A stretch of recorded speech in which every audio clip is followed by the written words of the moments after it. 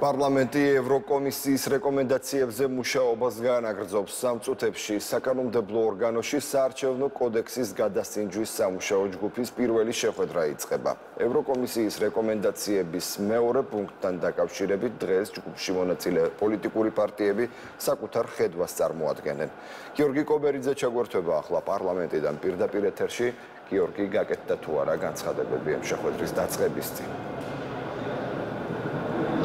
საარჩევნო კოდექსთან დაკავშირებით მომუშავე სამუშაო ჯგუფის პირველი შეხვედრა ამ წუთებში მიმდინარეობს პარლამენტში. მანამდე კი ჯგუფის ხელმძღვანელმა უმრავლესობის წევრმა გივი მიქანაძემ გამართა ბრიფინგი და ისაუბრა იმ ზოგად გეგმასთან დაკავშირებით, რომელთაც იხელმძღვანელებს აი ეს ჯგუფი, მაგალითად, როგორც უმრავლესობის წარმომადგენლები ამბობენ, ამ ჯგუფის ფარგლებში განიხილავენ ეუთო ოდირის და ვენეციის კომისიის რეკომენდაციებს, რომელიც საარჩევნო კოდექსთან დაკავშირებით მომზადა, თუმცა ამ რეკომენდაციების ნაწილი უკვე პარლამენტს გათვალის გასწინებული აქვს და ეს უკვე საარჩევნო კანონმდებლობაში არის ასახული, როგორც უმრავლესობის წარმომადგენლები ამბობენ.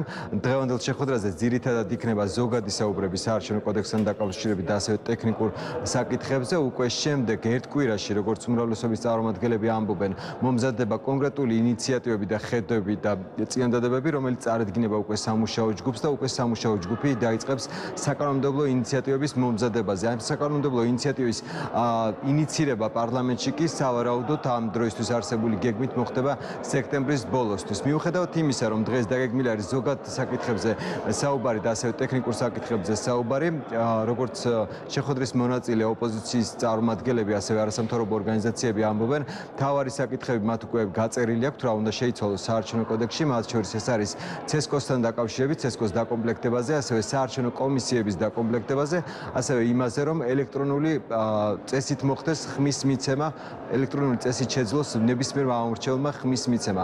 ასევე საარჩევნო ბარიერთან დაკავშირებითაც იქნება საუბარი, ასევე ახალგაზრდა იურისტთა ასოციაცია აპირებს, რომ დღევანდელ შეხვედრაზე დასვა საკითხი, რომ ამ შეხვედრებში მონაწილეობას უფლება მიეცეს არასამთავრობო ორგანიზაცია სამართლიან არჩევნებს, რომელთაც რომელზეც უმრავლესობის წარმომადგენლებმა დღეს თქვეს, რომ ამ პროცესში ჩართულები უნდა იყვნენ არასამთავრობო ორგანიზაციები, რომლებიც ნეიტრალიტეტს ინარჩუნებენ.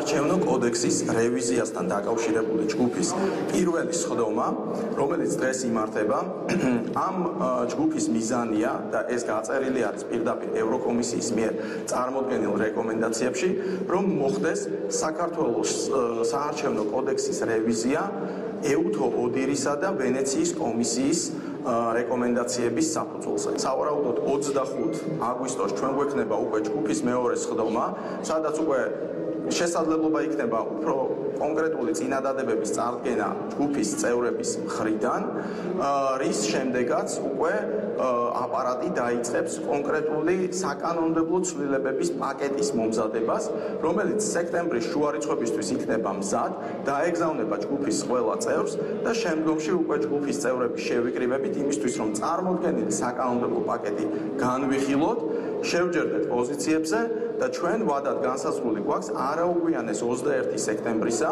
უნდა მოხდეს იმ ცვლილებათა პაკეტის დაინიცირება, რომელიც ვენეციის კომისიისა და ეუთო ოდირის რეკომენდაციების გათვალისწინებით უნდა აისახოს საარჩევნო კოდექსში. გაჟღერდა რომ ქართულოსნებას სურს დღეს არსებულ კანონმდებლობით გათვალისწინებული 2/13 დაწიოს, ეს არის პრინციპულად მიუღებელი მარტივი მიზეზის გამო, რომ ცესკო არის უצება და შესაბამისად მისი ხელმძღვანელი არის სუბიექტი, რომელიც პირდაპირ და უშუალო გავლენას ახდენს თითოეული სუბიექტის არჩევნო სუბიექტის საქმიანობაზე. შესაბამისად, მნიშვნელოვანია ბუნებრივია, რომ ცესკოს ხელმძღვანელი შეირჩეს პოლიტიკური კონსენსუსის საფუძველზე. ეს ერთი. მეორე ძალიან მნიშვნელოვანი საკითხი, რასაც დავაყენებთ, არის ელექტრონული საარჩევნო სისტემის დანერგვა. თქვენ იცით, რომ სამწუხაროდ ჩვენი ქვეყანა, ჩვენ მოქალაქეები ძალიან დიდ რაოდენობას აქვს დატოვებული, მილიონზე მეტ ადამიანზე საუბარი, რომელთა ძირითად ნაწილს არ ეძლევა შესაძლებლობა რომ მიიღონ მონაწილეობა არჩევნებში. ის გადაწყვეტილება რომელიც მართლმა გუნდმა ერთვიროვნად მიიღო ჩვენი კოლეგა ორგანიზაციის სამართლიან არჩევნებთან დაკავშირებით ეს ჩვენს აბსოლუტურად მიუღებელი და მიუღებელია და დაუშვებელი არის ასეთ გადაწყვეტილებას იღებს მართველი გუნდი ეს საცალად დისკრიმინაციული გადაწყვეტილებაა და რა თქმა უნდა ამ საკითხთან დაკავშირებით ჩვენ შეხვედრაზე აუცილებლად დავაყენებთ ამ საკითხს და ამაზე ვისაუბრებთ. ეს აბსოლუტურად დაუშვებელია და გაუმართლებელია სამოქალაქო სექტორის საქმიანობაში ასეთი უხეში ფორმით ჩარევა მართველი გუნდის მხრიდან. ის არგუმენტები რაც არის დასახელებული აბსოლუტურად გაუგებარია გაუგებარია და მიუღებელი არის ჩვენ გვინდოდა რა თქმა უნდა გვესაუბრა სისტემურ პრობლემებზე ამ სამუშაო ჯგუფის ფორმატში, თუმცა რა თქმა უნდა პირველ რიგში რაც აუცილებლად უნდა გაირკვეს, ეს არის მონაწილეობა სამოქალაქო სექტორის ამ პროცესში, ეს არის საკმაოდ კრიტიკული და მნიშვნელოვანი საკითხი, იმიტომ რომ ერთ-ერთი რეკომენდაციის შესრულებას ეს პირდაპირ უკავშირდება. საარჩევნო სისტემის რეფორმირებაზე მომუშავე სამუშაო ჯგუფის შეხვედრა დაახლოებით 2 საათს გაგრძელდება. უკვე მომდევნო შეხვედრაზე ერთ კვირაში კონკრეტული წინადადებები იქნება განხილული ამ ჯგუფის ფორმატში. მადლობთ გიორგი პირდაპირ ეთერში პარლამენტიდან გიორგი კობერიძე საუბრობდა